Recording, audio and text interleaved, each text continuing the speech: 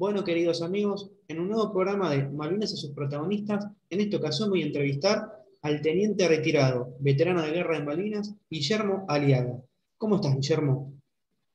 Buenas tardes, Muy bien, gracias. Un gusto poder saludarte y te agradezco por haber aceptado la, la entrevista. Igual, el gusto.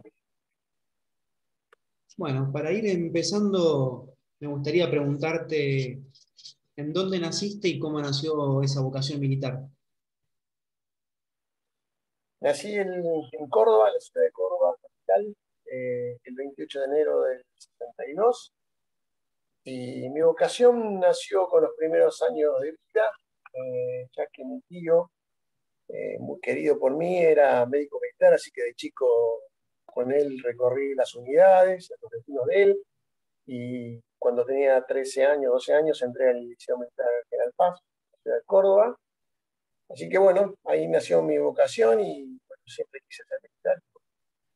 Eh, lo fui. ¿Y después del liceo entraste directamente en el colegio militar? Eh, entré en, en el 80, 1980, segundo año del colegio militar. Ah, porque En esa época los liceístas, si aprobamos el examen, eh, entrábamos a segundo año. Ah, bien. Y eso fue en el 80, me dijiste. En el 80. Perfecto. ¿Y eh, qué, qué arma elegiste? Infantería. Tuve un año en la tercera compañía de infantería, en el año 80, Sí. y en el año 81 y parte del 82 lo hice en la cuarta compañía de infantería. En el año 81 se reabrió la, la compañía de infantería, la cuarta compañía, y creo que tuvo, fuimos dos promociones, la 112 y la 113, que egresamos de esa, de esa compañía, que se había reabierto después de muchos años está cerrada. Ah, bien, perfecto. Y vos que acabaste de nombrar justamente la promoción 113, promoción Islas Malvinas, fue la promoción en, que, en la cual ustedes egresaron eh, antes, ¿no? Sí, en la promoción, nuestra promoción, la 113, eh, en el 82 estábamos cursando cuarto año. Bueno, como consecuencia de, la guerra de Malvinas, Sí. eh, egresamos en el mes de abril, el 7 de abril, en lugar de la fecha normal, que es noviembre, diciembre, debería haber sido el año 82, con lo cual egresamos al principio del cuarto año. Y en ese momento, ¿qué, qué sentiste con ese egreso prematuro? Bueno, la sensación fue la de sorpresa, junto con la recuperación de Malvinas, fue, fue la sorpresa del egreso, eh, inimaginable para nosotros en ese momento eh, que se diera una situación como esa. Eh, básicamente sorpresa y después un poco de incertidumbre porque, bueno, el egreso todavía estaba un poco, un poco lejos. Eh, con lo cual, fundamentalmente incertidumbre, no saber a dónde íbamos a ir, o cuál era nuestro destino, cuál iba a ser nuestra misión. Eh, pero fue todo demasiado, demasiado rápido, así que poco tiempo de pensar y nos enteramos de nuestro egreso muy poco tiempo, un par de días antes de, de que se efectuara el mismo, ¿no? Con lo cual fue todo muy rápido y después eh, el desarrollo fue también de la misma forma rápido, dependiendo de cada arma y cada unidad, cuál era el, el trayecto que uno iba a hacer hasta, hasta la unidad, ¿no? Entiendo. Eh, los, que fuimos a la, eh, los que fuimos a la Patagonia, bueno, eh, eh, particularmente los infantes, creo que todas las armas fueron a cada una de las escuelas de armas, de acuerdo a los, a los destinos. Los destinos no fueron leídos en el comedor de, de cadetes todavía. Con lo cual, bueno, el, el, movimiento era, dependiendo del destino y el arma, era, era diferente, pero básicamente todos seguimos, fuimos a la escuela de, la, de, las armas y después de ahí en distintas fechas a, la, a las unidades que, que, nos tocaban. Los que fuimos a, la Patagonia, eh, la brigada 9 y 11, fundamentalmente los, infantes me refiero, eh, el 9 de abril eh, salimos desde de Palomar, en un vuelo de un Boeing 707 de la Fuerza Aérea eh, con destino a Comodoro Rivadavia. Y bueno, los que estamos, fuimos destinados a Comodoro Rivadavia, el Regimiento 8 y el Regimiento 37, que existía en ese momento, estaba en, Río Mayo, desembarcamos ahí, el avión continuó para la Brigada 11 a, a Río Gallegos. Así que bueno, el, movimiento fue todo muy rápido, estuvimos uno o dos días en la escuela de infantería, se nos asignaba un aula a cada una de las unidades donde nos reuníamos el personal que íbamos a ser movilizado a cada una de las, unidades. Eh, personal movilizado de personal de cuadra exclusivamente, es decir, oficiales y suboficiales eh, de distintos eh, institutos, básicamente, escuela de guerra oficiales, escuela de infantería, escuela de, escuela de inteligencia, colegio militar, entre ellos incluida nuestra promoción, y los suboficiales, más o menos lo mismo, la mayoría eran de, también de, escuelas suboficiales, los Cabos Nuevos y algunos de escuela de infantería y otras, otros institutos. Eh, y bueno, eh, el arribo de cada una de las unidades, después ya dependía de cada, de cada unidad cuál era, el, cuál era la situación del personal de cuadro que, arribó. Entiendo. ¿Y de tu promoción, eh, fue, fuiste con alguien más al regimiento 8? Nosotros fuimos eh, ocho al regimiento, ocho infantes eh, y un subteniente de intendencia y un subteniente de arsenal. Ah, ya, o sea, ya los conocías desde el colegio militar. Eh, sí, básicamente sí, sí, nos conocíamos. Fuimos ocho. Las unidades de la Patagonia fueron bastantes, por, fuimos bastantes. así que sí, nos conocíamos, algunos más, otros menos, pero digamos, por lo menos los infantes nos conocíamos. Con intendencia arsenal un poco menos, pero bueno, hemos todos compañeros de promoción. Entiendo. ¿Y eh, a qué se debía la decisión del, destino? ¿Era por, por, promedio o ustedes nunca supieron por qué cada uno fue a cada, cada destino? No, fue por, por, por, antigüedad. El primer tercio fuimos a la Patagonia y así se fue llenando ah. después. Eh, de ir llenando los, lugares. Sí, más de los infantes, ¿no? Pero por lo menos en infantería fue así. Después el litoral y después otro, otras, otras regiones, ¿no? Otros de otras regiones. Te entiendo. Y una vez que llegas al regimiento 8, eh, te toca presentarte, me imagino, supongo que al jefe de regimiento, ¿no? Nosotros llegamos en la madrugada, eh, en la madrugada del regimiento, el, más, eh, los más antiguos que, iban en el vuelo, que íbamos destinados, movilizados a la unidad, eran capitanes de la escuela de guerra, uno era mi jefe, que fue mi jefe de compañía en un principio, en Godoy, eh, y eran dos o tres capitanes más, y después para abajo llegamos a la unidad la, madrugada, de noche, eh, llegamos a la unidad, pero la unidad ya había cruzado Malvinas. cuando llegamos, el grueso de la unidad ya había estaba en Malvinas, fue la segunda unidad de infantería que, cruzó las islas después del 25. Así que en la unidad estaba a cargo de un capitán, eh, así que ya la unidad, digamos, la unidad del grueso, la unidad se había ido, había quedado parte de gente de la compañía de servicio, eh, algunos servicios, algún personal por compañía, pero muy pocos, así que el grueso ya había, ya había partido. Eh, así que bueno, de los que fuimos, parte del personal de, recuerdo oficiales, no me acuerdo si los oficiales, a los dos días cruzaron las islas y el resto que quedamos en, en la unidad eh, se formó la compañía C, si una compañía más. Eh, bueno, se integró con parte del personal movilizado, en nuestro caso era un eh, capitán Godoy, el jefe de compañía, teniente primero Barreiro, jefe de la sección, de la sección apoyo del teniente primero Voto, de la segunda, Salaverri, compañía mío, y yo de la tercera. se formó esa, esa, compañía con ese personal de oficiales, con personal de suboficiales, algunos lo entregaban personal mismo que no era movilizado, sino de la, unidad, pero había quedado en el cuartel y no había, no había cruzado. Y soldados eh, nuevos y soldados eh, clase 62 que fueron reincorporados.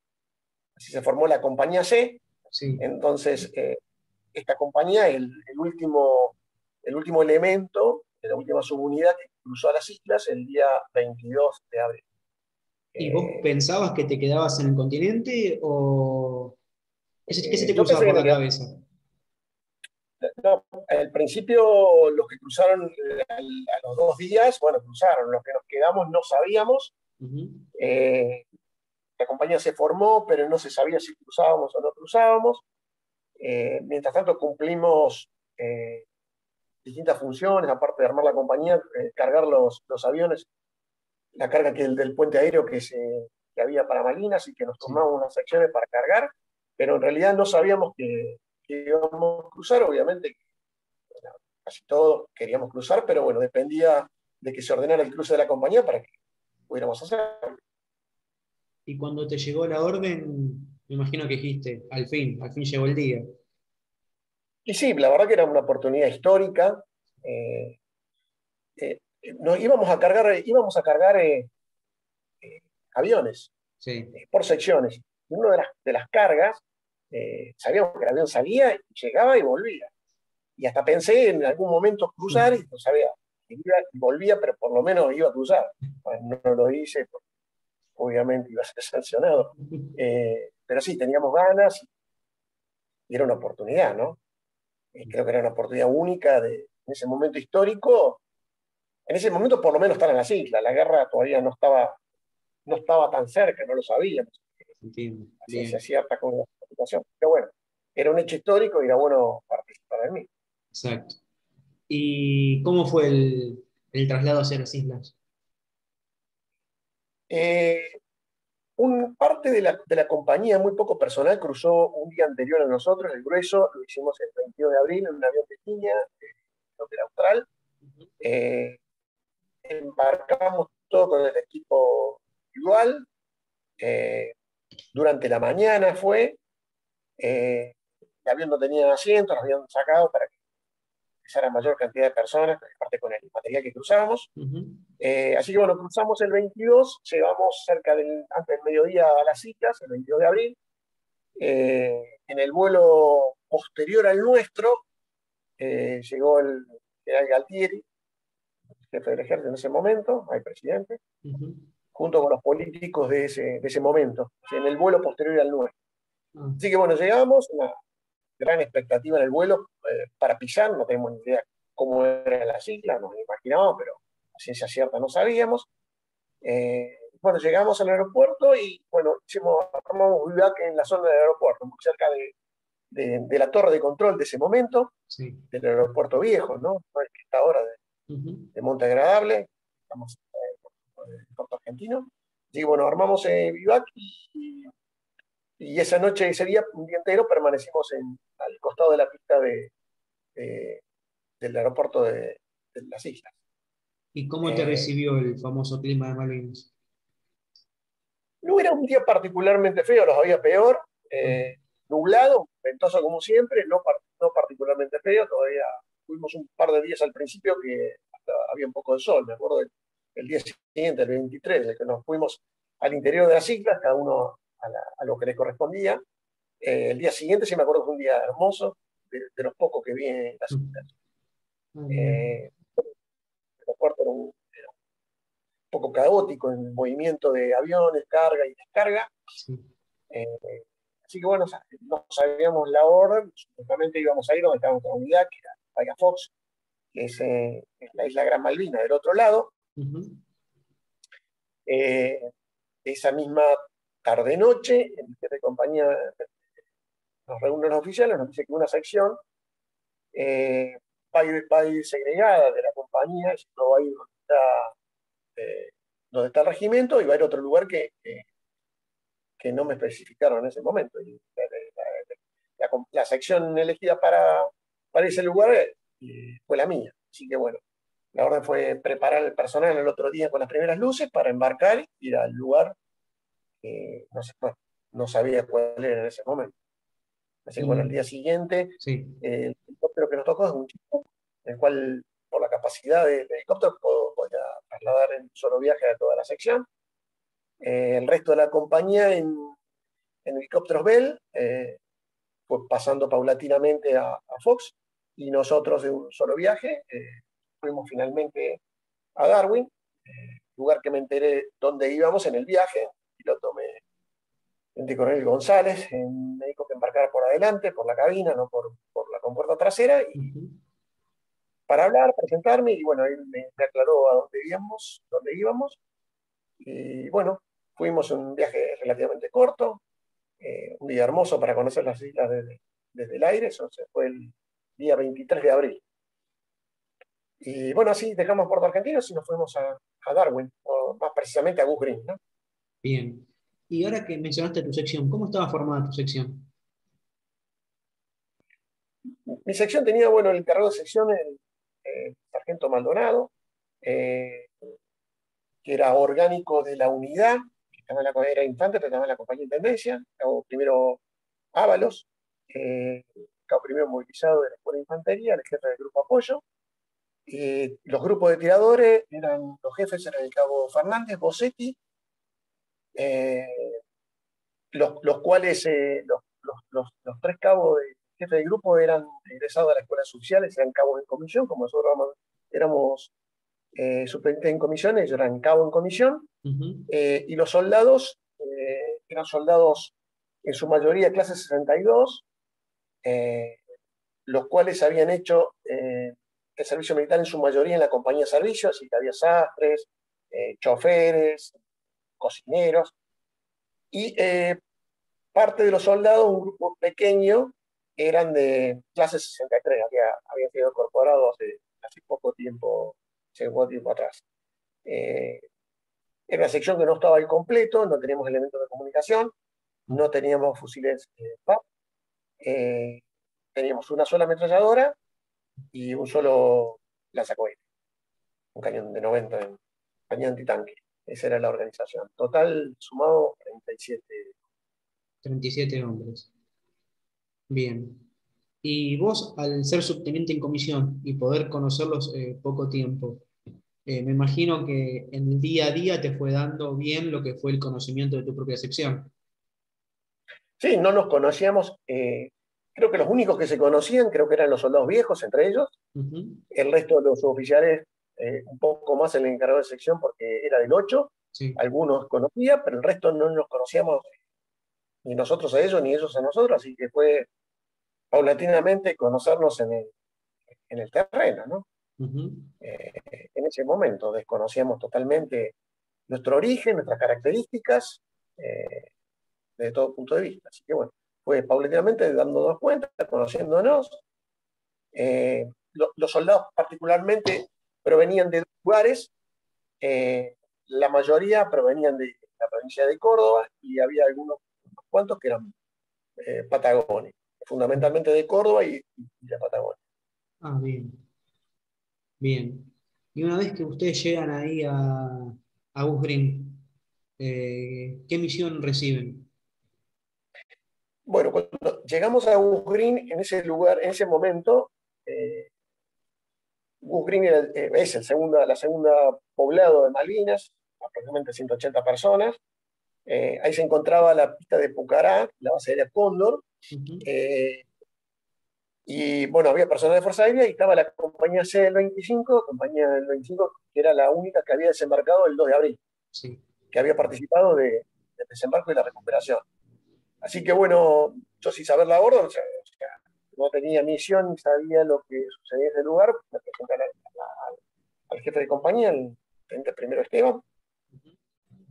Y ahí, bueno, eh, primeramente cumplimos eh, la función de reserva la misión de reserva de la compañía. La compañía estaba concentrada en ese momento en una escuela, una escuela bastante grande, dos pisos, que era una escuela de la zona, eh, estaba alejada a unos 700, 800 metros del pueblo, propiamente dicho. En ese lugar lo ocupaba la compañía C y en un principio eh, la misión nuestra, por un par de días solamente, fue de reserva eh, de la compañía. Posteriormente eh, cambiaron la misión, nosotros dejamos de ser reserva de la compañía y nos trasladamos a, la base, a la base eh, en la cabecera pista del norte de la pista de, aviación, que estaban los Pucaray, eh, con la misión de brindar seguridad en la cabecera norte de la pista de, de, Pucará. Esa fue la, la, segunda misión que cumplimos en, en Green. la zona se llama Darwin porque Darwin en realidad es, es un caserío de tres, cuatro casas que está un par de kilómetros del pueblo hacia el norte, donde vivía el, administrador en ese momento, pero el pueblo es eh, Bien. Es lo mismo que une la parte norte con sur de, la isla Soledad. Exacto, bien. Y vos cuando, cuando llegaste, eh, ¿qué te pareció el, en sí el, terreno? El terreno no, no, me, lo, no me, lo, imaginaba así. Eh, tiene muchas características propias de la Patagonia y otras que no son no tanto. Eh, obviamente con respecto a la Patagonia, que forma parte de la meseta patagónica, es diferente porque digamos, es mucho más húmeda, llueve permanentemente, es un clima mucho más húmedo, ventoso igual, que la parte de Comodoro al menos, ventoso igual, me, sorprendió que es bastante más verde de lo que yo pensaba. Eh, la zona de Puerto Argentino tiene, está rodeada de cerros bastante escarpados, no muy alto pero escarpado. La zona de, Darwin, Green, no tiene cerros elevados, sino son eh, terreno ondulado, con lomas eh, y vegetación que es, que es, pasto. En ese momento era pasto bastante corto y bastante verde, volví en el 2018 y el pasto estaba mucho más seco y más alto.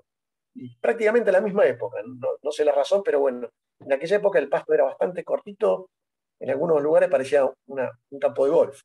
Ah, eh, con, en las playas eh, con piedras, no muy grandes, por lo menos en la zona de, Darwin, eh, y sin vegetación, solamente este, alguna vegetación en Darwin que en realidad en, la península, eh, perdón, el istmo, que va de este a oeste, una, vegetación que son una especie de arbustos muy, muy espinosos, eh, de dos metros llegan a alcanzar, que corre de, oeste a este, pero la única vegetación, el resto no tiene vegetación, eh, el terreno es pantanoso, con turba, con piedra, cuando uno empieza a cavar encuentra, encuentra piedra y también hay salida de agua, ¿no? Pues muy sumamente húmedo.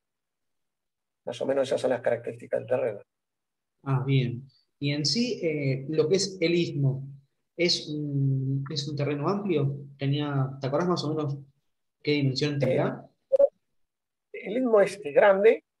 Eh, la parte más ancha puede llegar a tener dos kilómetros eh, en cuanto al ancho, lo que va de este a oeste, de norte a sur, eh, la parte angosta eh, tiene varios, tiene 4, 5 kilómetros, 6 quizás.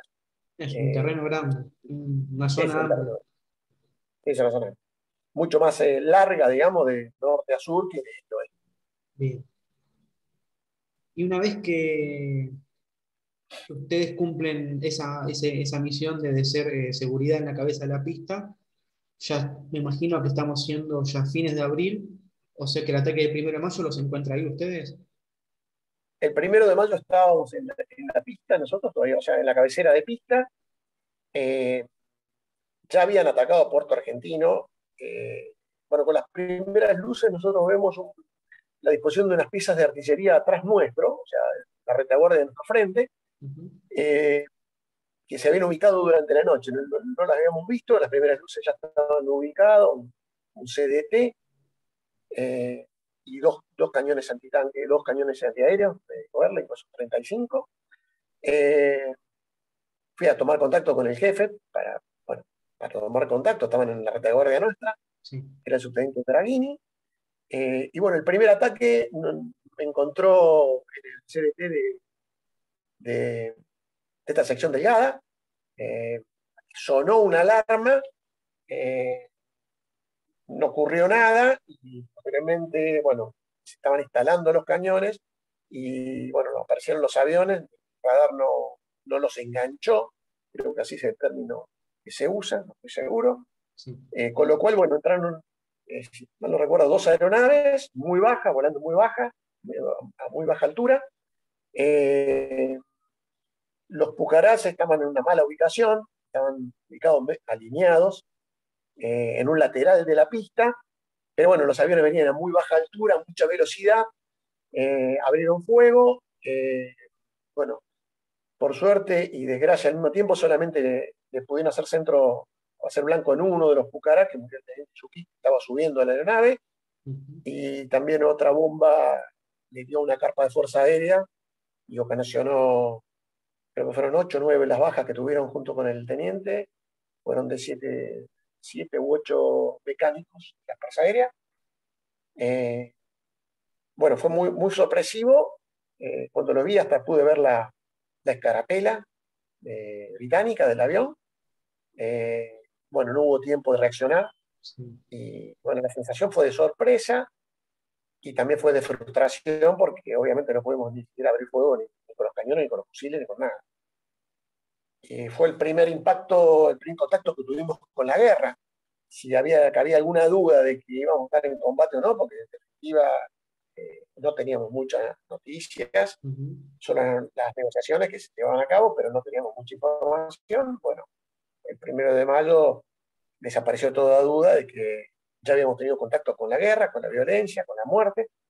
Eh, fundamentalmente una sensación de frustración porque no, no, pudimos hacer absolutamente nada, ni reaccionar. Entiendo. Así que bueno, esta fue la situación y a partir del primero de mayo tomar contacto con, con la guerra, digamos, hizo que nuestra mentalidad cambiara este, y de alguna u otra forma sabíamos que íbamos a entrar en combate tarde o temprano. Y me imagino que después de ese primer impacto, eh, uno como jefe tiene a su propia tropa, tiene que intentar que la moral no, no decaiga y me imagino que no debió ser fácil, ¿no? Ese primer impacto. Yo creo que también eh, tiene algún lado negativo que marcas vos, pero también el lado positivo porque mientras ello no ocurría, era todo una dialéctica y un tratar de convencer de algo que a lo mejor alguno pensaría que estaba equivocado, que iba a ocurrir. Pero bueno, también el lado positivo es que lo vieron de cerca, tomaron contacto con esa realidad, de lo que hablábamos era cierto y que teníamos que estar más atentos y compenetrados, con lo cual a la larga creo que fue más positivo que, que negativo. Entiendo, bien. Y después de, del primero, que me dijiste que fue, ya empezó el contacto con la guerra y los días sucesivos, eh, ¿siguieron sufriendo ataques aéreos ustedes? Nosotros sufrimos, en, en tuvimos pocos ataques aéreos. Eh, tuvimos, si mal no recuerdo, que fueron tres. Eh, sufrimos otro ataque aéreo, otro ataque aéreo, uno de los cuales la artillería antiaérea argentina derribó a, un, Harrier. Eh, el Harrier creo que entró por el lado sur, eh, lo derribó el antiaéreo, eh, parte del avión se fue dispersando casi en forma paralela a la pista y parte de, la máquina quedó muy cerca de nuestras posiciones. El puesto de comando mío, muy, muy cercano, había un peso de motor. el piloto estaba muerto, eh, teniente Taylor, 25 años, fue golpeado y también tenía un, disparo de 762. Eh, se efectuó el entierro, el entierro con honores, participó la Fuerza Aérea y me ordenaron que, fuera con un grupo de tiradores. Yo, y un grupo de tiradores, un grupo de tiradores de mi sección, fuimos al entierro. Se lo enterró muy próximo a las posiciones de, de nuestra sección, en un lugar cercano a un a un tinglado de ovejas y ahí lo enterramos. Eh, posterior a la guerra lo han cambiado de lugar, el lugar donde, donde yace el cuerpo de, Taylor. En 2018, cuando volví a Malvinas, lo, lo, vimos, lo cambiaron para el otro lado de la pista, digamos, en forma paralela también para el otro lado, cerca de una edificación que hay eh, que utilizan como aeródromo, eh, en la forma más preparada, bueno, está enterrado ahí. Ese fue otro ataque y también tuvimos otro ataque en el cual lamentablemente se produjo la baja de un avión propio que venía averiado, que venía perseguido por, por Harrier. Eh, bueno, entró por un, lugar que, que, no debía haber entrado, pero bueno, venía, perseguido y creo que averiado, y bueno, lamentablemente también en ese momento se produjo la baja de, una aeronave nuestra, ¿no? Eh, sí, eh, Fausto Gavassi. Exactamente, de A4, A4B o A4C, creo que. Sí. Eh, pero esos fueron los, los, ataques aéreos, fueron, si mal no recuerdo, fueron tres. Si mal no recuerdo. Eh, en uno de esos, eh, más, uno, en un momento determinado, ocupando las mismas posiciones después del primero de mayo, se ordena una, se da una alarma de, una alerta de, tipo de desembarco británico. Eh, ya en este momento ya estaba la, no estaba la compañía CL-25 de forma nosotros y la sección de gas, no estaba la Fuerza Tarea Mercedes. Es decir, que a, fines de abril llega el regimiento 12, no en forma completa, sino la compañía eh, A, la comando, eh, la compañía C, parte de la servicio, sin todo el material, llega con el jefe de regimiento, el con el Piaggi, y ahí se forma la, Fuerza de Tarea Mercedes, es decir, la Fuerza de Tarea en base al Regimiento 12, en el cual todos los elementos eh, restantes que estaban en Gugrin, la compañía C, eh, nuestra sección, delegada, eh, se integra a la Fuerza de Tarea Mercedes, y el control operacional, que hasta ese momento, bueno, el mío dependía de la Fuerza Aérea, en definitiva, después de estar de, a orden de la compañía C-25, ya el control operacional pasa de, todos los elementos de ejército a la Fuerza de Tarea Mercedes. Eh, en ese desembarco se repliega todo la Fuerza de Tarea, eh, nosotros quedamos, quedamos fuera de dispositivo, pregunté orden y nos replegamos. Y bueno, cumplimos una misión de dos días en el poblado donde se replegó toda la fuerza de tarea junto con la, eh, compartiendo la, la, punta del istmo donde se encuentra el poblado de Con la tercera sección de la compañía C25 de, de Reyes. Eh, ahí permanecimos dos días y también cumplimos una misión de custodia de los, de los los habitantes, los Kelper, que estaban eh, separados, digamos, en un lugar que parecía una iglesia, pero en realidad es un, centro cívico que tiene, un lugar de reuniones que tenían en el pueblo. Eh, posteriormente cambia la situación y volvemos a las mismas posiciones que tenemos en la, en la cabecera. De... Sea, no se da lugar ese desembarco, no tiene lugar, y se modifica nuevamente el dispositivo y volvemos a la, a la cabecera de pista, eh, posiciones que teníamos originalmente. ¿Y ahí a qué altura de, mayo estamos? Y ahí estamos en el 4 o 5 de mayo. Ah,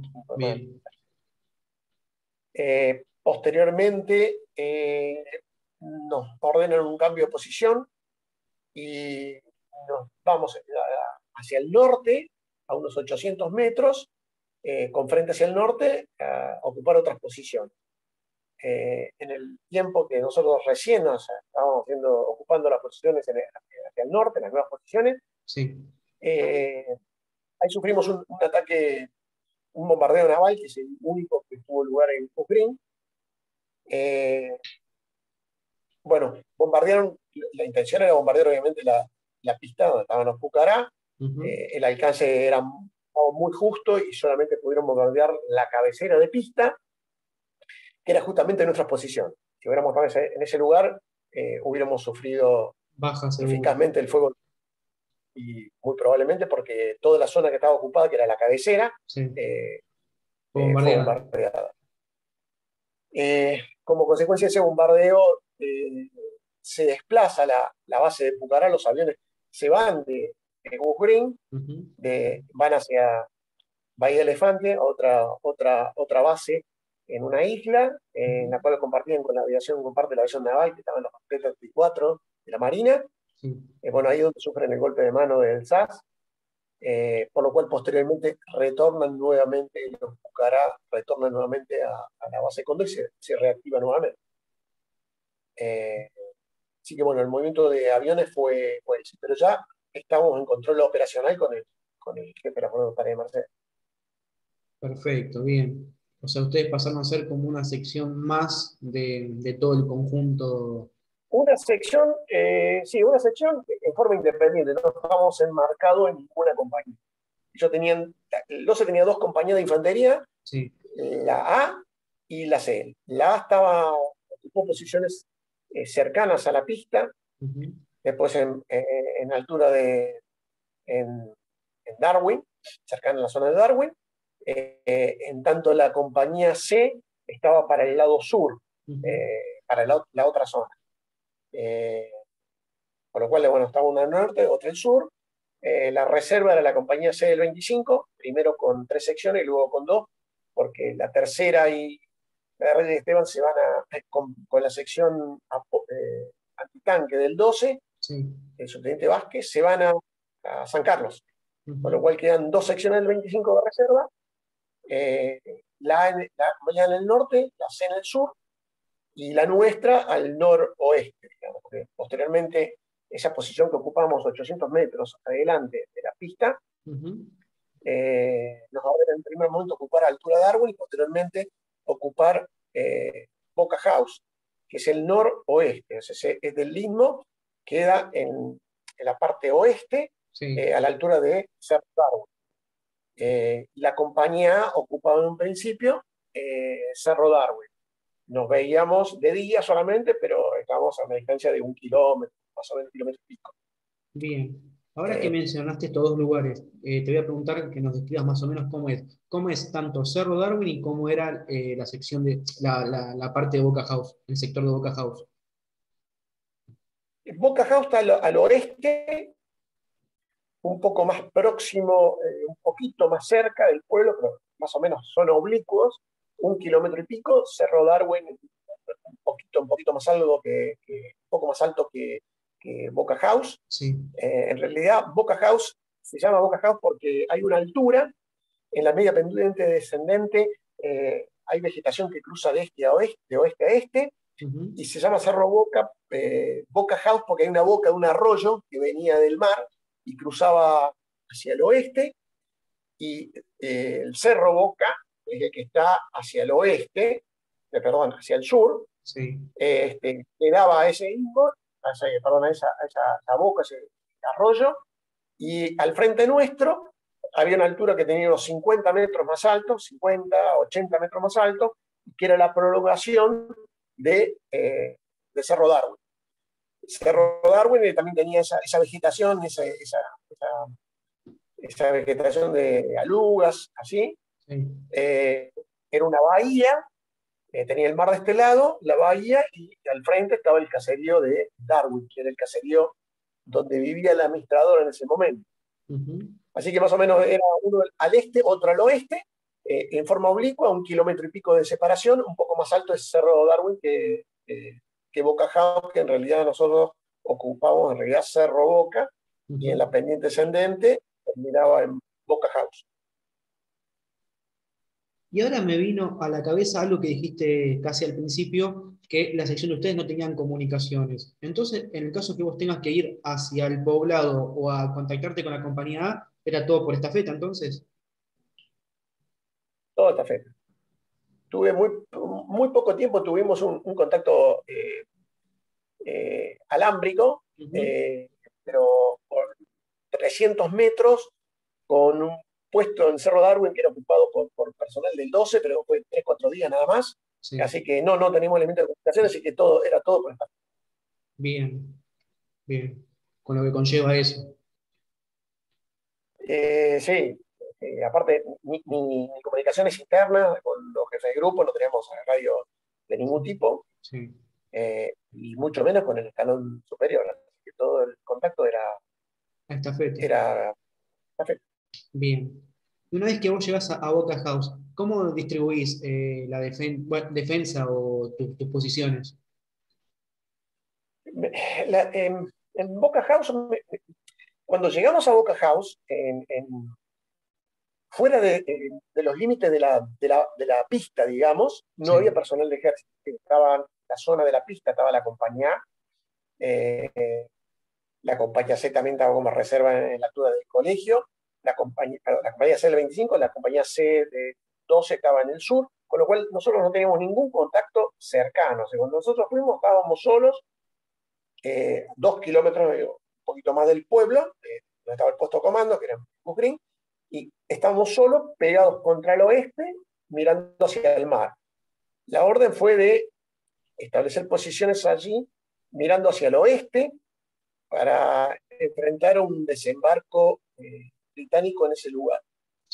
Eh, la cuestión es que la posición donde estábamos ocupando era una posición de una barranca que no tenía playas, con lo cual era muy difícil que desembarcaran en ese lugar porque no era el mejor lugar para desembarcar. Sí, quizás la playa, que estaba de este lado, eh, estaba más al norte, pero solamente eso. Por lo cual, mm, en un primer momento me pareció que la, la orden no estaba muy acertada, teniendo en cuenta que eh, estábamos descubiertos en los 360 grados. Repito, no teníamos, eh, no teníamos ningún límite con nadie, ni visual con nadie.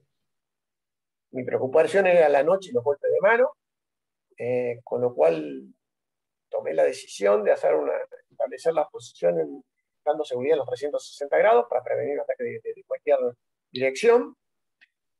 Si bien posteriormente eh, la compañía del 12 se aproxima a nuestra, a nuestra zona, eh, va hacia Darwin, el cual seguía quedando a un kilómetro de distancia hacia el oeste, hacia el, perdón, hacia el este. Posteriormente me ordenan que dé cumplimiento estricto a la orden, la cual era seguir eh, estableciendo las posiciones que me habían ordenado en un principio que eran hacia el, hacia el, oeste.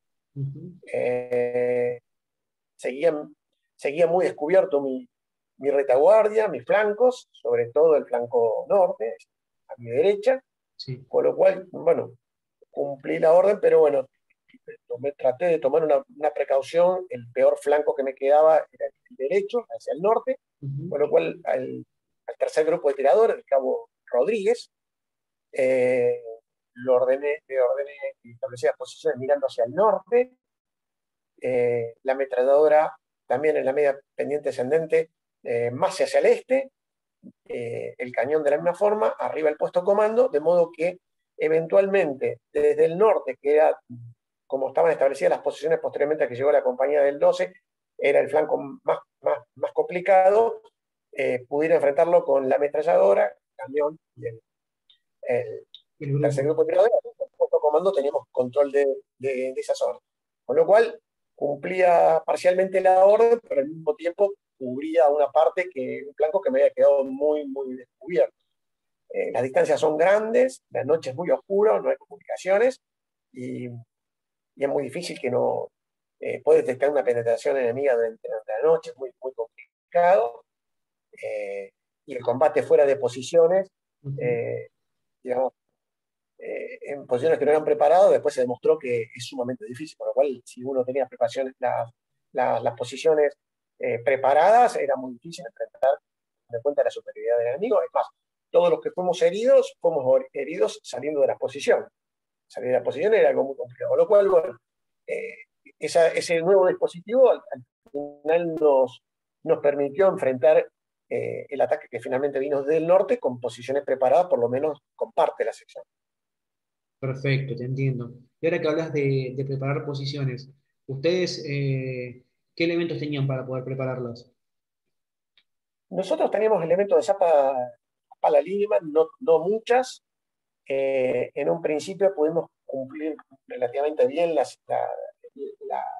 la, misión en cuanto al establecimiento de los pozos de zorro y demás cosas, porque, bueno, está, muy cerca de la base de la Fuerza Aérea.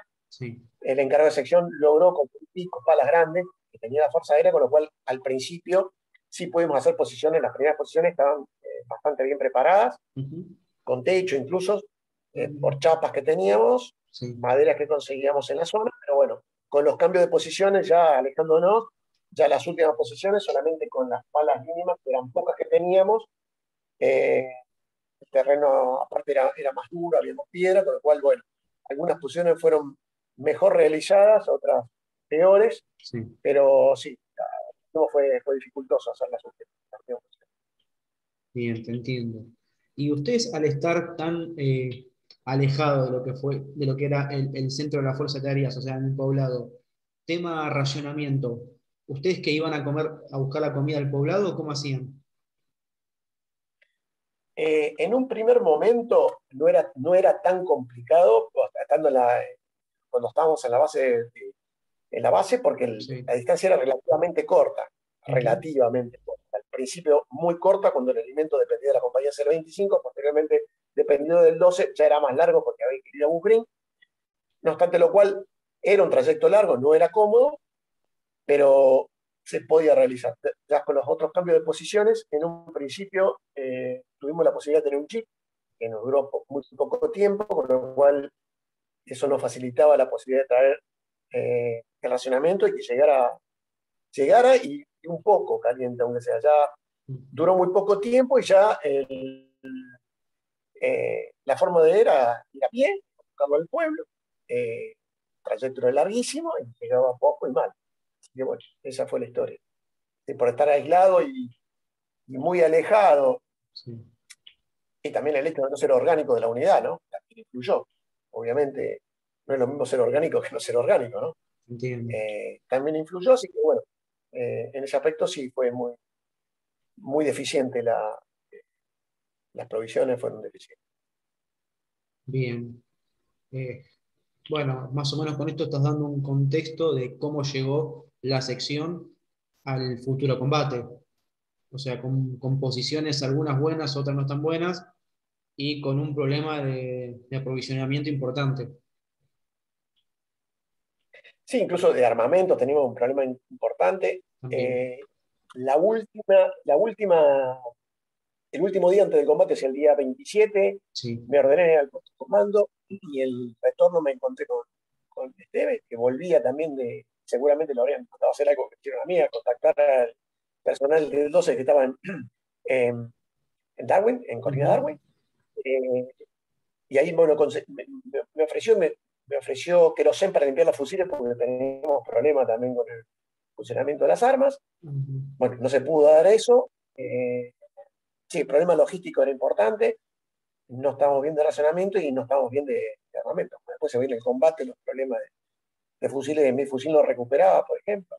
Eh, el, digamos, el tema logístico no, no llegamos en las mejores condiciones. Eh, el último racionamiento lo recibimos la noche anterior, que fue una noche de, una llovina muy, muy densa, muy oscuro. Eh, y me parece que hacía un par de días que no recibíamos caliente. Eh, bueno, llegó muy mal el racionamiento, a mí me descompuso el, poco que probé, no, pude probar porque me descompuso hizo de cordero, con lo cual me produjo mejor no comer eso, porque al baño a los cinco minutos, y baño que no había, claro. Eh, con lo cual, el tema ese fue. Pero bueno, fue. En la guerra pasan esas cosas, no es lo ideal. Pero pasa. Eh, pero pasa. Pasa y tampoco eh, se, suplió con otro, con otro tipo de cosas. Obvio, bien. Y tengo una pregunta. Eh, todos sabemos que los ingleses desembarcan en San Carlos el día 21 de mayo. ¿Ustedes se enteran de, esa noticia? No, yo particularmente no. Justamente por, lo, no, que, estaba no, no sabía, no, y fui al puesto comando el día anterior y nadie no, recibió orden eh, de, información al respecto. Yo no, sabía que había O sea que tu sección hasta el último día esperaba el combate desde el oeste.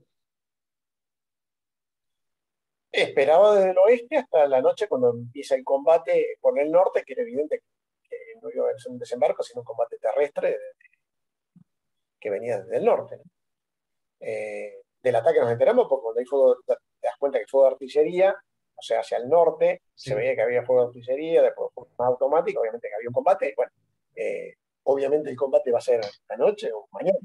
Sí, pero no, no, tenía información del desembarco ni, ni, la, ni, de la aproximación de ellos. Y adentrándonos a, a esa noche, eh, está bien, ustedes empezaron a sentir el, ruido de, del fuego de artillería, y vos que ahí en ese momento que ordenaste cambiar el frente o, cómo fueron las horas subsiguientes? Durante la noche, bueno, nos enteramos de tipo 3, 4 de la mañana, sería donde hay un combate. Eh, hasta ese momento, estábamos, como no sabíamos que, digamos, fuera del combate, no sabíamos que, venía un ataque enemigo. Obviamente, este juego nos alertó que venía un ataque enemigo eh, estamos en una situación normal de eh, uno durmiendo por puesto y otro, otro de guardia, preparar el resto de la sección, los que estaban, de guardia, prepararlos. Como el, el combate, el avance enemigo venía del norte, obviamente que el grupo que estaba más alejado del sur lo puse mirando hacia, hacia el norte, en las posiciones que estaban más o menos, no eran posiciones, era un, un proyecto de posición de, de las que íbamos a realizar en un principio cuando me ordenaron que, que cambiara el frente, que no hiciera eso. Eh, así que bueno, al principio fue eso, hasta que bueno, posteriormente tuve que replegarle que no tenía posición porque quedaba, era un campo de golf. Eh, no hay cubiertas, este, y la única cubierta es el fuego, y el volumen de fuego enemigo era muy superior a nuestro. Aparte fuego de, fuego de, de armas pesadas, de artillería, morteros, si no hay posiciones, eh, o salís o tenés posiciones. No puedes quedarte ahí. Así que bueno, eh, eh, el movimiento al principio fue, fue ese, de recuperar un grupo para ese lado, pero posteriormente era lo que estaba preparado, que era la metedora del cañón, eh, antitanque me refiero, ¿no? Y el grupo de tiradores de punto comando, que fue lo que, con el elemento que pudimos enfrentar al, enemigo.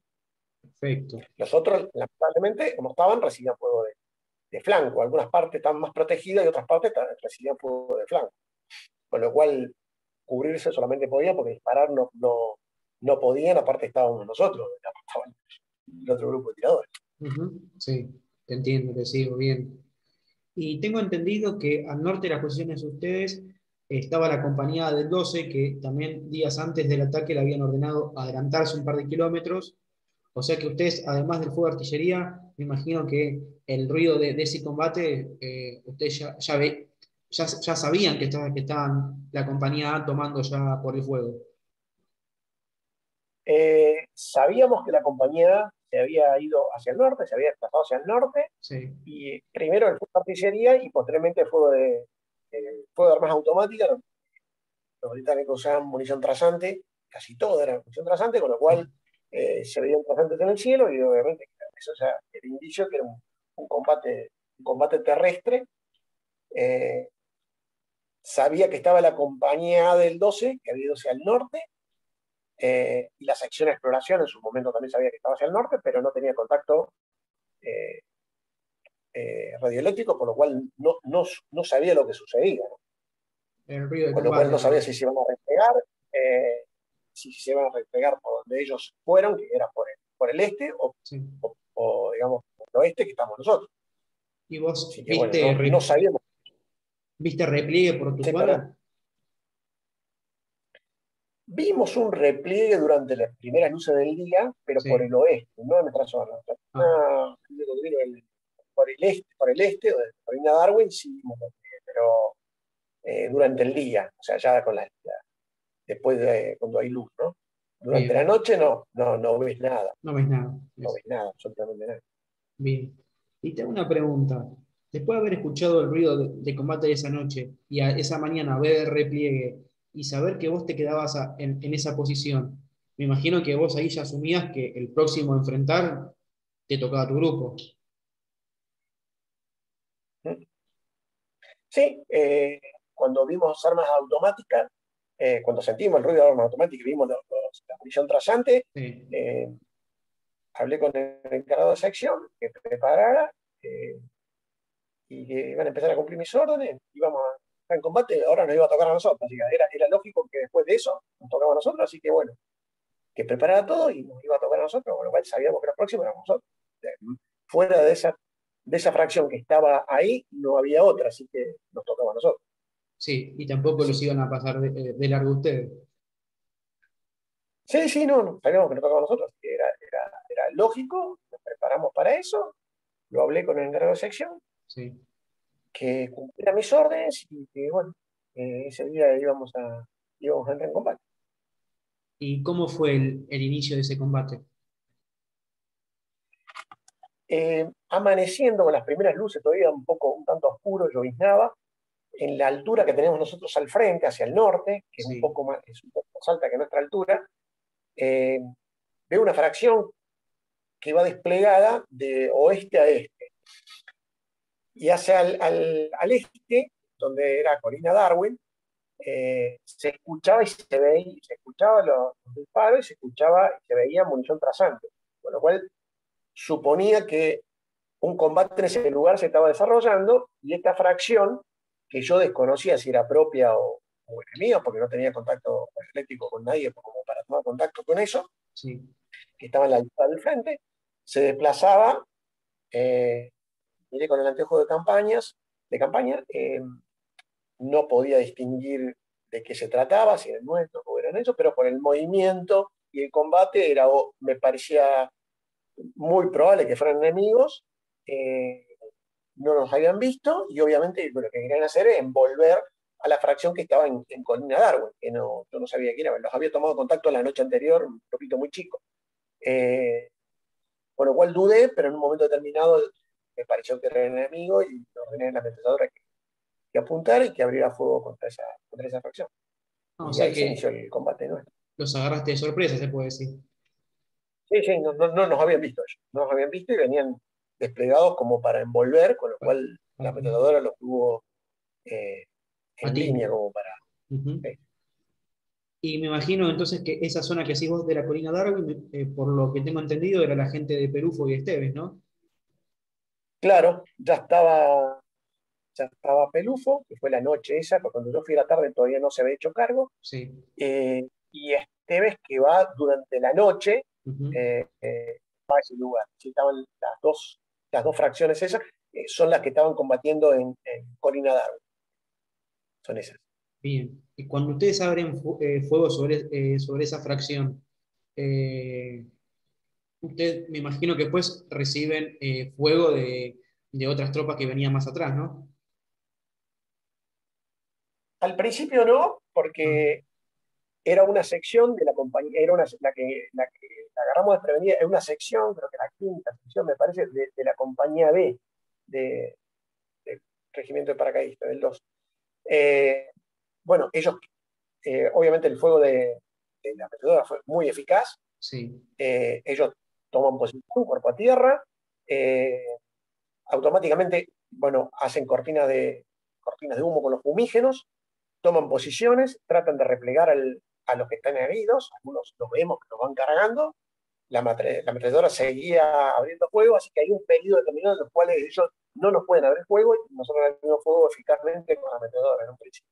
Pasa bastante tiempo hasta que ellos, bueno, logran la fracción que quedó expuesta en, en esa altura, parte, eh, toma posiciones en esa vegetación que estaba en la media pendiente descendente de la altura que tenemos al frente, Sí. de, de esa vegetación, una pared, y parte del personal cruza y se repliega del otro lado de la, de- de la altura para quedar eh, a cubierto del fuego nuestro.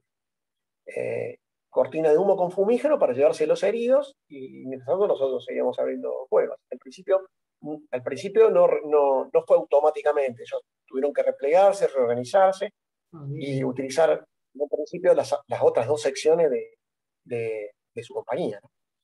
Posteriormente sí, eh, se colocan en posiciones, o sea, era una altura mayor que la nuestra, o más alta que la nuestra, Sí. eh, eh, Eso. tenía muchas armas auto, muchas ametralladoras.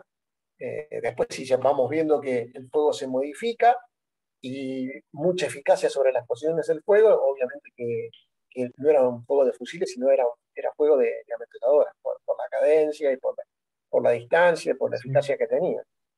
Con lo cual, bueno, ellos se fueron acomodando eh, y ya el intercambio de disparos ya era, era disparar y cubrirse, disparar y cubrirse, porque había mucho fuego de arma automática de eso. Al principio, el combate fue solamente entre, al principio, en un principio fue solamente de armas automáticas contra armas automáticas. Sí. Después ya intervienen bueno, los morteros, la artillería y los misiles. etc. Les dieron con todo entonces. Sí, al principio sí, pero no, no tenían, no, no los habían visto. Yo creo que eh, no tenían mucha, eh, mucha idea de cómo estaban dispuestas nuestras posiciones, porque si hubieran sabido, eh, y nuestra posición fue establecida hace bastante tiempo, no era de la última noche, Sí. no hubieran hecho ese movimiento para empujar a la otra fracción y quedar con el flanco expuesto hacia, hacia nuestras posiciones. Con lo cual yo creo que ellos iban viendo y no, no sabían exactamente, tenían un eje de recorrido, pero no sabían exactamente lo que se iban a encontrar. Lo que iban viendo, iban viendo, pero si no, no hubieran hecho eso. Lo hubieran envuelto porque era, era, era suicidarse. Decir, Entiendo, Eh, perfecto. Y un, hay un comentario que quiero hacer, un, un detalle que dijiste vos, a la cantidad de, de armas automáticas. Tengo entendido que el batallón 2 de paracaidistas, antes del combate este de, de Gus Green, ellos eh, duplicaron la dotación eh, inicial que tenían de ametralladora por el regimiento. Por cada sí, sección tenían muchas ametralladoras. du- duplicaron la cantidad. duplicar. Y eso, eh, bueno, nosotros tenemos la relación típica, ¿no? De, por lo menos el ejército argentino en ese momento, era la, la ametralladora, el abastecedor y el afuste. El afuste iba a todos lados, se Ujú. veían tres, tres, tres, eh, el apuntador y dos sirvientes más, y con el afuste. y uno veía el movimiento y no, no, veía, porque veía un fusil, pero claro, eran ametralladoras. Ellos aumentaron la cantidad de ametralladoras, medida inteligente, porque si no hay cubierta, la cubierta es el fuego. Eh, te suponía un esfuerzo físico importante para la tropa, porque tenía que cargar una ametralladora y la munición. Eh, y también tenían un elemento de ametralladoras que lo, utilizaron en apoyo a, a esa compañía y después el movimiento de la otra, que era otra, es una, una sección de ametralladoras, creo que le llaman siempre, pelotón de ametralladoras, que también utilizaron. Con lo cual fueron, eh, fueron muchas la cantidad de ametralladoras que pusieron en apoyo a, eh, al avance que tenían. Y eso marca muchísimo la diferencia. Y marca porque eh, el, fuego, de fusil es una cosa, pero el fuego de ametralladora, la cadencia que tiene, lo notamos porque para tirar eh, la munición pegaba en las posiciones y, entraban a las posiciones. O sea, tenías que eh, tirar y meterte, tirar y meterte. Eh, era un juego con una cadencia que no la daba posible. Era mucha, mucha la cantidad de metedoras que tenía. Y aparte la altura de ellos, era, el cerro de ellos era más alto que el nuestro. Y eso le daba ventaja. y eso le daba ventaja. Aparte es una, un campo de golf, con lo cual la posición, todas las posiciones, la de la metedora, la de los tiradores, la de puesto comando, el cañón, todas se podían ver porque era una cancha de golf. era imposible no verlo. Nosotros lo veíamos y ellos no veían. Entiendo. Supongo que ellos lo veían más de nosotros porque después nosotros lo más a cubierta por el volumen de fuego de ellos. Pero sí, los veías y, sabían cuál era la posición, de dónde salía el fuego y podían concentrar el fuego en ese lugar. Eh, que fue, creo que fue, fue el elemento decisivo para, para, vencerlo, ¿no? porque al principio, a una distancia relativamente importante los pudimos mantener lejos, pero obviamente el volumen de fuego muy superior. ¿no? Y fueron ganando, fueron ganando terreno. Eh, yo creo que fue más, más importante el fuego y maniobra, pero lo que decidió el combate en ese caso, más que la maniobra, fue, fue el fuego. El poder de fuego, te entiendo. Eh, volumen de fuego. Y así, eh, ¿por cuánto tiempo se, se extendió el combate? y ya empezaste a tener heridos dentro de la sección? El primer herido que tenemos es, un, eh, Bossetti, un jefe de grupo de tiradores, Bossetti, que es uno de los jefes de grupo de tiradores del segundo, del que estaba frente al mar, que recibían disparo de, de costado, tiro por el hombro, y ahí me avisa, viene hasta el puesto comando soldado Marini, Guillermo Marini, para avisarme que su jefe de grupo estaba herido, si lo, iba, lo evacuaba o no lo evacuaba. Y le dije que no, que no, no podíamos evacuar nada. Y tenía que llegar al puesto de comando. Llegó al puesto de comando, no para llegar al puesto de comando, ¿eh? eh, y bueno, en el puesto de comando le di un poco más de munición, una caja de munición además, y le señalé un lugar que quedaba desde el eje de avance británico hacia la derecha de mía, eh, digamos hacia el este, una, pequeña posición que no era una posición, que, y le pedí que llegara a ese lugar y que se quedara en ese lugar, eh, cubriendo un posible envolvimiento que tuviéramos por el este, que en definitiva hubiera, hubiera tomado a la sección, a la gran parte de la sección, eh, por la retaguardia, porque el frente nuestro grueso estaba por acá, una parte estaba así, con lo cual hubiera entrado por ahí.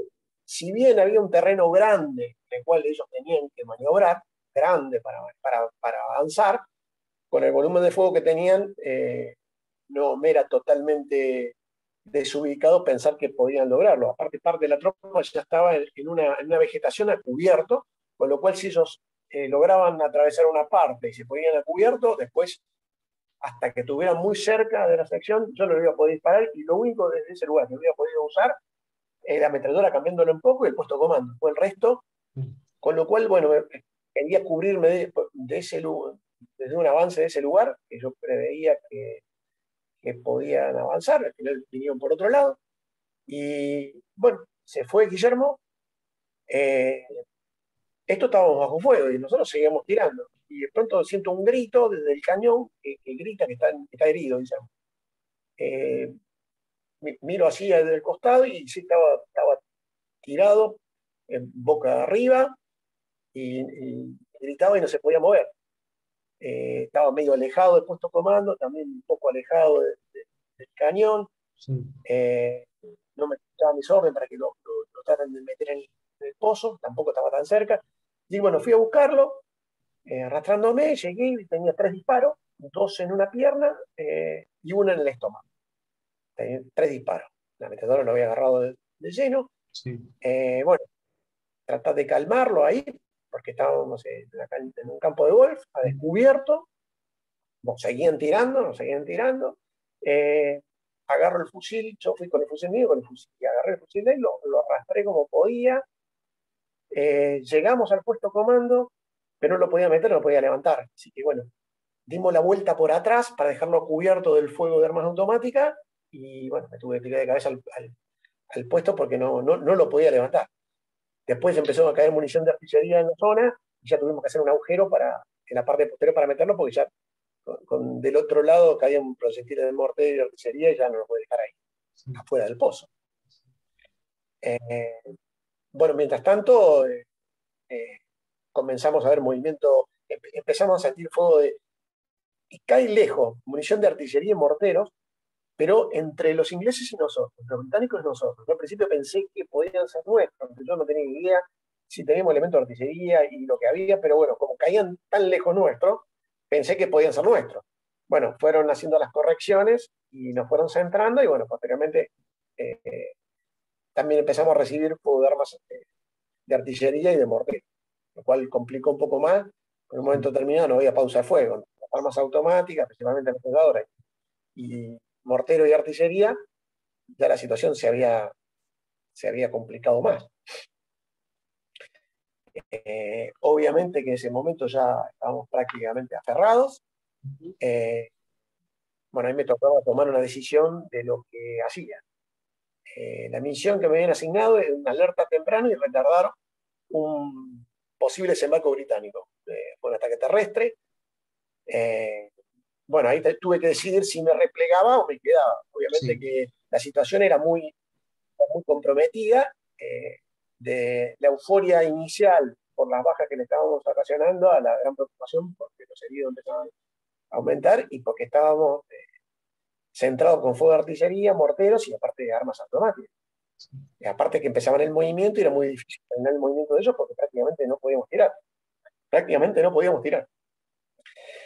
Y bueno, eh, eh, siempre cuento que para mí fue el momento más difícil del combate porque fue el de tomar decisiones de lo que hacía. Eh, si me quedaba o me iba. si me quedaba, ¿qué hacía? Y si me iba, ¿cómo me iba? fue lo que llaman los militares la soledad del mando. me senté en el fondo del pozo, me saqué el casco a pensar, ¿qué hago? decidí quedarme eh, no replegar. ¿Por qué? Porque estaba cerrado, eh, era muy difícil hacer una salida para atrás, hubiera sido, creo que hubiera tenido muchas bajas, no lo podía hacer de forma ordenada, no tenía la capacidad ni el entrenamiento, ni, las coordinaciones. Eh, si salía de ahí, era las posiciones, no había pausa de fuego, llegaba, iba a quedar entre dos fuegos muy probablemente, con lo cual me pareció atinado seguir aguantando lo que pudiera, tratar de que no se me, que no se me acerquen mucho, eh, rogar que el fuego de, de artillería no me destruya todas las posiciones, y con la, cuando sea de noche, sí, eh, hacer un repliegue que hubiera sido más ordenado. Yo tenía mucho, mucho miedo en que el repliegue se convierta en un desbande, lo cual eh, es muy probable con gente que no está entrenada, que está agotada, que está cansada, que está, mal. y con todo el estrés de combate el de combate. Hubiera sido, y algo que no quería era eso, porque eh, aparte hubiera ocasionado, yo creo que muchas bajas. Eh, tropas que tampoco están muy instruidas ni tengo coordinadas para el otro lado, para recibirme.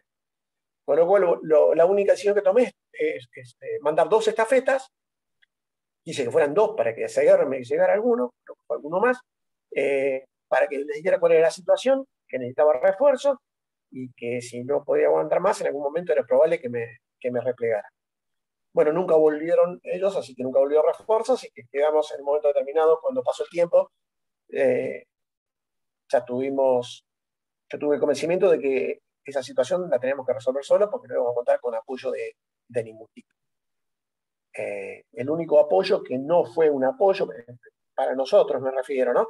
Eh, fue, un, fue un desplazamiento de aviones Pucará, una patrulla de aviones Pucará que se lanzó contra los británicos que estaban en la, en la altura, ya estamos en, combate, en combate entre ambas fracciones, eh, pero bueno, todo el fuego de armas automáticas que nos tiraban a nosotros se lo hicieron los aviones, con lo cual cuando se hicieron los aviones pudimos apreciar con mayor eh, exactitud la cantidad de bocas de fuego, porque algunos tiran, uno tiene que cubrirse, no puede, pero cuando hicieron fuego para arriba, ahí vimos la cantidad de bocas de fuego que le estaban tirando. Hicieron una cortina de fuego, los aviones eh, escaparon por el oeste y no abrieron fuego, lo cual, bueno, eh, más seguro todavía que, que, nos íbamos a tener que arreglar solos sin ningún tipo de apoyo. Eh, fue la, única aparición en la zona que aparentaba, porque en realidad no fue una, un apoyo. Después creo que sí, los Pucará tiraron un helicóptero, después en retaguardia. En la primera línea de combate, eso es lo que, lo que ocurrió. Bien. Eh, eh, bueno, luego cada vez eso se aproximaba más, era, era más difícil pararlos, ¿no? porque la, diferencia de boca de fuego era impresionante. Mi fusil no recuperaba, por ejemplo. La ametralladora sigue siendo nuestra principal arma, la más eficaz, obviamente. Eh, no teníamos FAP, con lo cual al principio incluso abrimos fuego muy en el límite del alcance de los FAL, pero bueno, era necesario por lo menos hacerlo así. Eh, luego vemos movimientos británicos que se empiezan a acercar y yo veo una fracción británica que empieza a caminar paralelo a la playa, eh, o sea, por el oeste. Eh, una fracción grande. Eh, bueno, era una compañía, yo no, no, sabía qué era, pero era una grande. la metodología seguía intercambiando disparos contra las otras armas automáticas que estaban apostadas en la altura, y no veía esto. yo quise ordenarle que abriera fuego contra esa fracción que los querían volver por la playa no era el mejor lugar para un movimiento, pero bueno, parece que ellos no tuvieron otro, se aproximaron una parte por el medio de la playa, unos acantilados y tuvieron una cubierta. Eh, y cuando salieron de esa cubierta, yo los vi. Eh, como la metalladora no escuchaba las órdenes, bueno, salí de la posición y cuando salí de la posición, bueno, sentí algo en el, cuello y caí lleno de sangre. Bueno, me eh, tienen cada sección y un soldado, me meten dentro de la, de la posición. Eh, a partir de ese momento, bueno, yo ya estaba herido, no podía hablar, sabía lo que pasaba porque no perdí la conciencia, me contaban lo que pasaba. Eh, en un momento determinado me dicen que la metedora eh, recibió un impacto y estaban heridos. después me dicen que, bueno, que la metedora recibió otro impacto, estaba fuera de servicio. el lanzacote ya había efectuado los, los tres disparos tres disparos que teníamos ya lo había efectuado. Eh, empezamos el intercambio de disparos y los técnicos se, se ponen en esa, pared, eh, abre fuego el lanzacohete. Los que tuvieron, estaban, eh, habían tomado cubierta ahí se desplazan para escapando. No sabían cuántos disparos teníamos nosotros y ahí la metedora puede abrir fuego también contra esos que estaban ahí. Así que la, la había quedado ya, el cañón había quedado sin munición y sin fusil. Los soldados tenían pistolas ahí. El fusil de un abastecedor lo usaba, de uno del abastecedor del cañón lo usaba yo, el que no recuperaba. Eh, bueno, ya quedó fuera de combate y que continuaban avanzando por la playa. Eh, siento que alguien se tira de cabeza en el, puesto comando, yo estaba boca arriba, eh, me había vendado un poco, y el cabo, el cabo se tira de cabeza, que es el cabo Rodríguez, que era el jefe del grupo S, para pedirme órdenes y que tenía munición, que tenía muy cerca, que los tenía 50 metros, que no, sabía qué hacer. Eh, bueno, ahí él, estaba en cuclilla, le he puesto comando y le recibe un disparo acá, que le entra por acá, le sale por acá y cayó arriba mío. Eh, luego un, proyectil de morteros agarra y pega en el, puesto comando, derriba el puesto comando de la parte que estaba el sargento y lo hiere en la cabeza. Sí. Eh, bueno, ahí la situación ya no sabíamos, yo no sabía bien lo que ocurría, era lo que me, lo que me decían. Me dice que ya estaban entrando por, el norte tomando las posiciones. uno me dice, me dice, saco un trapo blanco, le digo, le hago señas que sí, que lo sacó, recibió un disparo. así que bueno, tomaron posiciones por posición, pues no sabía yo bien lo que pasaba adentro, en las otras posiciones, el puesto comando en un momento determinado, al que sacó, le pegaron un tiro en, el glúteo, a uno que apareció y a otro en el fusil. Eh, bueno, ahí bueno, entraron a las posiciones por, el, por, el, por la compañía eh, D, la compañía D del Paraguay. Entraron, tomaron prisioneros, estaban tomando por posición por posición, la posición nuestra no salía nadie porque estábamos todos salidos. Eh, se metió un paracaidista, nos apuntó y nos metió afuera. Eh, bueno, ese es el momento que fuimos, que fuimos tomados prisioneros de esa forma. Eh, no, sabíamos lo, no sabíamos lo que sucedía. Eh, yo, veía poco, y nos tuvieron tirados, apuntando. un para, el que me sacó a mí me pidió el paquete de curaciones, me, revisar el paquete de curaciones, estaba vendado Marini con ese, me da su paquete de curaciones o me venda él, me hace una seña como diciendo, ya está. Ya está. Como no más. Eh, bueno, nos tuvieron ahí.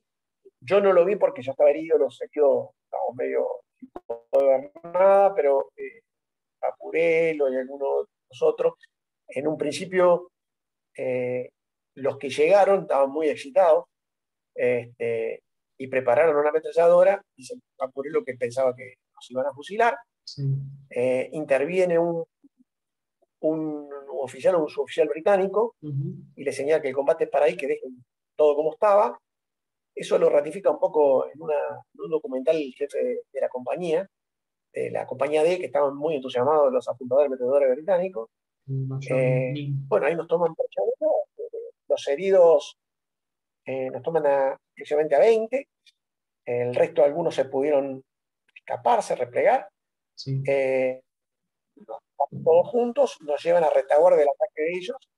Eh, los heridos vamos cargados por, nuestra propia tropa a retaguardia del ataque de ellos y llegamos con las últimas luces a, no te digo que primera línea, pero muy cerca de primera línea británica, porque sufrimos el fuego de artillería propia, incluso el ataque de Pucará, que lo derriban. Eh, yo estaba boca arriba porque estaba sangrando mucho, así que yo veía cosas eh, no estaba tirado boca abajo como los tenían el resto. Eh, abren fuego de armas automáticas todos todo los ingleses nuestro y lo tiran en el Pucará y el rato aparece infectado piloto, pero que era cruzado. Y también un, Aeromaki, eh, Miguel creo que era, de corbeta Miguel, también, lo, Bueno, al último tiempo atravesamos una casi un campo minado propio, llegamos casi en un lugar donde yo no podía ver, pero en ese lugar se podía ver el poblado. Eh, soportamos el fuego de artillería propio. Eh, a última hora hay un, alto el fuego. Eh, nosotros nos llevan a Colina Darwin y ahí nos juntan a las fracciones que estábamos prisioneras hasta ese momento, que son la, de, del Tente Esteves, algunos de Manresa, sí. algunos de Pelufo y nosotros. Eh, nos separan los que estamos heridos de los ilesos, los heridos nos ponen al lado del fuego y los ilesos los tienen aparte ahí. En la noche, durante la noche mandan a un prisionero, no sé quién era, no era de mi sección, lo mandan eh, con un mensaje a la fuerza de tarea para, parlamentar. este, bueno, lo, que lo único que nos decían que mientras no se rinda la fuerza de tarea, la rinda del regimiento, no íbamos a recibir atención médica, con lo cual algunos recibimos suero y, alguna infección seguramente, pero bueno, lo grueso no era eso. Eh, eso lo informó un capitán, el capitán de inteligencia del batallón hablaba bien castellano. Repetía, no sé para qué peleamos con ustedes si nuestros enemigos son los rusos, gritaba. Eh, y bueno, el regimiento, después que se da el, el parlamento del regimiento, al otro día nos separan los heridos, nos llevan a una zona más hacia el norte y ahí produce la evacuación de, que son las filmaciones esas que están de la BBC, donde se produce la evacuación de los que estamos heridos. Eh, entierran los cuerpos de los, de los fallecidos, evacúan los heridos al hospital de campaña de, de Bahía así que bueno, el otro día ya el, regimiento se rinde a la fuerza de tarea. Este, los heridos nuestros, los, perdón, los ilesos nuestros de las tres secciones de la compañía que estaban juntos con el resto de la fuerza de tarea y los heridos ahí nos separan y seguimos otro, otro camino de regreso. ¿Y lo tuyo que me dijiste que fue en el cuello, eh, qué fue? ¿Un, proyectil? en el informe yo puse proyectil, pero no sé si fue de, misil, artillería o disparo, no, no, lo sé. Ah, está bien. Ellos en el informe decía disparo, pero no sé, eh, no, lo sé. Está bien. ¿Y a vos, eh, estando herido, te operan, te, operan, ahí mismo en Bahía Ajax o te llevan a un buque hospital? No, en Bahía Ajax nos llevan a Bahía Ajax. Llegamos el 29 de mayo, triste día del ejército. Sí. Eh, en Bahía Ajax está al lado de, de San Carlos. Eh, así que eh, donde, está, donde estaba Bahía Ajax había un gran movimiento, si bien no era la cabecera de playa, que habían desembarcado, estaba gran parte del tren logístico estaba desembarcando ahí por helicóptero. Así que en el helicóptero yo, era el último que me subieron y estaba de costado, al lado del artillero de la metadura del, helicóptero. Eh, vi la flota, vi la flota cuando volamos por San Carlos y aterrizamos eh, ahí en Bahía Ajax. Eh, el hospital de campaña era, era un frigorífico, el frigorífico de, ovejas que había ahí. los kelp, los los Gurkas y los integrantes de la banda hacían de camilleros. Así que, bueno, nos tocaba camillero, subían a la camilla y al hospital. El hospital era un frigorífico con tablones donde se operaban, con faroles de, faroles para iluminar, eh, todo muy primario, obviamente, había una, bomba de, eh, al lado sin explotar, de Canberra, eh, bueno, ahí buscaban la identificación, yo no tenía chapa de identificación. Eh, el grado sabía que era oficial, pero bueno, no tenía ni el grupo sanguíneo, ahí tijera todo, el piso todo lleno de sangre, entraban y salían, entraban y salían. Eh, me sacaron el reloj, me dijo el, eh, un médico me dijo que me sacaba el reloj, los, soldados se robaban todos los relojes, a mí me revisaron porque, era, porque estaba herido que me lo iban a devolver después, no sé, bueno, yo después me desmayé, cuando recuperé la conciencia, vino el médico, me dijo, te devuelvo el reloj, me puso el reloj, eh, y bueno, de ahí nuevamente en helicóptero, yo supongo que al día siguiente, creo que fue el día siguiente, eh, al hospital de, al buque hospital de Bahía Uganda, eh, Uganda, que era un buque hospital, lo usaron para tropa, dicen ellos al principio, después le hicieron buque hospital, un transatlántico antiguo que lo habían requisado y lo habían preparado para, para buque hospital. Eh, era una, digamos, yo estuve en una parte de terapia intensiva donde no había camarotes, era todo plano, una, una cubierta, una cubierta que estaba en el, primer subsuelo, todo mezclado, ingleses, ingleses y, argentinos. Todo sería. Eh, sargento de Coelho, que era el encargado de la compañía, que disparó en el estómago, al lado mío un cabo con disparo en la pierna, británico. Al frente todo británico, todo, todo, todo mezclado.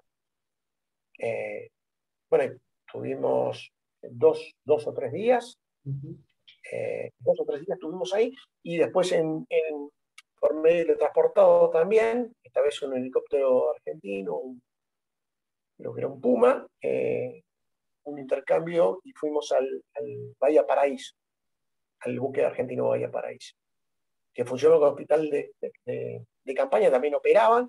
Eh, se me había infectado la herida y me, ofrecieron operarme de nuevo, que dijera, se me operaban en Puerto Belgrano o ahí, que me operaran en Puerto Belgrano. Tuvimos tres, cuatro días más navegando, buscando heridos también, eh, incluso en eh, algunos de Howard, otros de Fox, también que fueron. Eh, se completó la dotación de heridos, eh, navegamos para, para, el continente, a la altura de Punta Quilla y en helicópteros eh, civiles, aunque eran Sikorsky, Sikin, perdón, eran de helicópteros marinos, las petroleras, y ahí hicieron eh, la evacuación de, helicóptero desde el barco a la pista de Punta Quilla, un aeropuerto, y por medio de un avión de la Fuerza Aérea, bueno, fuimos a distintos lugares. En mi caso, fui a Espora y de ahí al Hospital Naval de Puerto Belgrano. Algunos fueron a hospitales militares, eh, incluso algunos fueron directamente a Buenos Aires, eh, otros a Comodoro, en mi caso fui a, Puerto Belgrano. ¿Y ahí en el Hospital de Puerto Belgrano cuánto tiempo estuviste? Y me operaron de vuelta en la parte que estaba infectada y sí. haber estado 10 días, calculo que 10 Y después pasé al hospital militar de, el 181, que es el hospital militar de Bahía Blanca, que era el hospital del cuerpo. ¿Y ahí estuviste más días todavía? Ahí tuve también, habré estado una semana más también ahí, eh, una semana, 10 días más. Sí. Y, después volví a la unidad. Y a todo esto, en, ese, en esos transcurso de los días, ¿pudiste avisar a tu familia que estabas vivo? Eh, mi madre se enteró que estaba viva, eh, que estaba vivo, eh, por un, colega de ella, un abogado, que es radioaficionado. Ah, y como es radioaficionado, no sé cómo fue la cuestión que la Cruz Roja sacó la lista de, heridos que tenían en, Uganda. Sí, y, vos. este hombre se enteró y le dijo, bueno, fue el primer, se enteró por un, digamos, por un radioaficionado argentino que estaba Así, después le imagino que le habrán comunicado por otro medio, pero se enteró por ese medio. Mira, mira que nunca lo había escuchado así, mira. Y una vez que. Sí, porque la, Cruz Roja, la Cruz Roja intervenía y tenía la lista. O sea, cuando entrabas ahí, te tomaban la lista, estaban, estaban todos, a un grado, con todo. Así que bueno, eh, no sé. Se enteraron antes por la Cruz Roja. ¿Y vos cuándo pudiste volver a encontrarte con ellos? Me fueron a visitar en, Puerto Belgrano. Cuando estaba internado en Puerto Belgrano, ah. eh, me fui a Así que bueno, un par de días me fueron a visitar en horario y de vuelta. Así que ese fue el primer contacto hasta que después ya me fui al hospital, ya no, fue la unidad, no, y después cuando volví, me licenciaron, me fui a mi casa y bueno, fue el otro retorno. Bien. Y me gustaría preguntarte, ¿qué enseñanza te dejó en sí la guerra, o sea, Malvinas, tanto en lo profesional como en lo personal?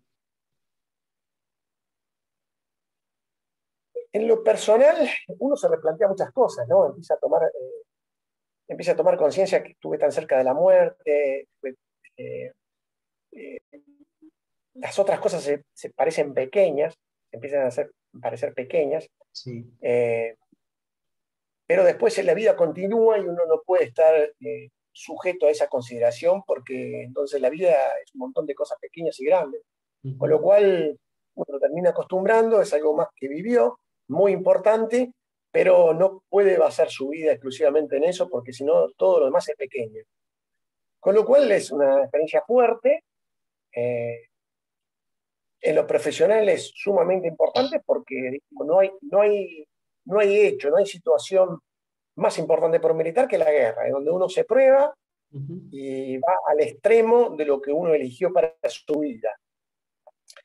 Eh, yo creo que como oficial fue, tuve un, pensamiento diferente habiendo sido veterano que si no hubiera sido, ni mejor ni peor, diferente. diferente. Es una experiencia fuerte, tiene su lado positivo y su, lado negativo, porque la guerra se acaba en un momento y después, como en la vida, uno tiene que retornar a la vida, a la vida normal. Sí. Y, bueno, a veces uno siente, si piensa mucho, cumple pocas órdenes. No está bien, tampoco está bien. Eh, fundamentalmente, la principal experiencia táctica, sí, eh, mucha. Creo que no fuimos tan buenos eh, aprovechándola eh, me refiero a táctica, estratégica, ¿no? Eh, en lo técnico y experiencias de conducción importante. Eh, aprender a mandar en situaciones críticas, empezar a, pensar que el que uno manda es una persona no una máquina. por eso es tan difícil, es tan difícil mandar personas. No, no, digo nada con respecto a las otras armas, pero fundamentalmente el infante que trabaja, que su arma es un ser humano, es sumamente, eh, sumamente complicada. Dos personas que sean iguales, con lo cual hay que tener capacidad de adaptación, capacidad de, llegar, eh, tratar de convencer. Eh, yo creo que es muy importante para la conducción y para, y para la vida futura tener experiencia de combate. Yo creo que es inigualable. Con todo lo bueno y todo lo malo, pero yo creo que no es deseable, pero es sumamente importante. son muchas experiencias muchas experiencias, eh, algunas se aprovecharon, otras no, pero eh, aparte a nivel personal, eh, con total humildad, ¿no? Pero la satisfacción de haber podido hacer lo que uno quiso hacer, porque podría no haber ido a la guerra si no hubiera querido, podría haber, podría haber no ido a la guerra si no quería, y quise, lo cual estoy muy agradecido, Tuve suerte también, obviamente que tuve mucha suerte, tuvimos mucha suerte, pero bueno, soy un, agradecido a la vida militar y me, dio esa posibilidad que, que, muy pocos tienen, en definitiva, porque pasan muchos años en el cual eh, las Fuerzas Armadas no tienen guerra. Tampoco es cuestión de andar buscando guerra, pero bueno, eh, se dio en ese momento y, como oficial estoy muy, muy, muy orgulloso de haber participado, muy contento. Eh, lo dejaste, pero recontra claro, Guillermo. Realmente nos, contaste todas tus vivencias. Estoy muy agradecido. Espero que te hayas sentido a gusto y la verdad, en mi caso propiamente dicho, disfruté muchísimo poder entrevistarte. Muchas gracias a vos, Matías, por la comunicación y también por lo, lo que haces. Sí, siempre digo que más ahora llegando en un par de meses a los 40 años, eh, la llama Malvinas no, tiene que apagarse, eh, no hay que dejarle lugar a la desmalvinización que siga pisando fuerte como pisó todo este tiempo y tenemos 649 razones para seguir eh, que es el, derecho más grande que tenemos la, sociedad conjunta en el país como para hacer un reclamo de soberanía y de todo lo que significa Malvinas para la Argentina. Totalmente. Y creo que la guerra, eh, si bien diplomáticamente nos alejó, en un sentido, también nos acercó en otro sentido. Eh, no me cabe duda que hoy las Malvinas eh, son más argentinas y se sienten más argentinas por la guerra. así que por un lado se perdió y por el otro lado se ganó, indudablemente. Es así, es como decís vos. Es así. Así que te vuelvo a agradecer y te mando un fuerte abrazo. Gracias a vos, Matías. Un fuerte abrazo. Estamos en, estamos en contacto, Guillermo.